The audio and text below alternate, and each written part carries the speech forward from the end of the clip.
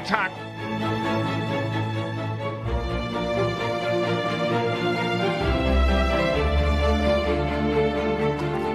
Shot, four runs, it is flown.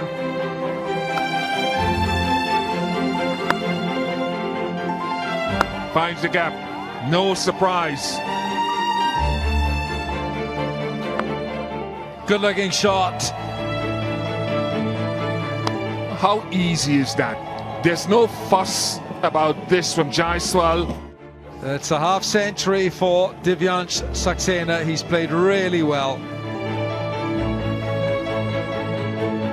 Oh, that's adding insult to injury. Jaiswal lifts it away onto the leg side and raises his arms as he gets 100, his third of his ODI under 19 career. And India are en route to trophy number five.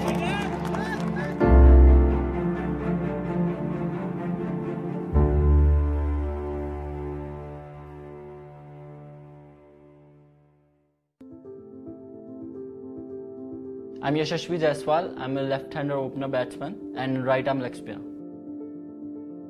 I was staying in my uncle's house, but uh, there were not good space to live. You know, in Mumbai, it's really trouble if you go there. It's not easy to live in small house with three, four people. There were like you have to work. If you don't work, you can't stay there. After when I went for the practice, I get tired. They said like you can't do anything. You can't live here. Then uh, I was like, uh, where, where, where will I go? Sir said eh, we'll have a one match. If you perform there, then you can go and live in the tents.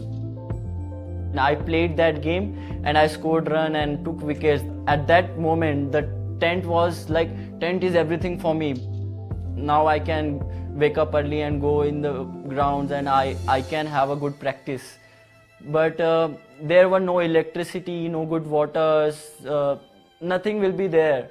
But uh, only one thing was there for me. That's the best thing that I can play and I can be on the ground every time.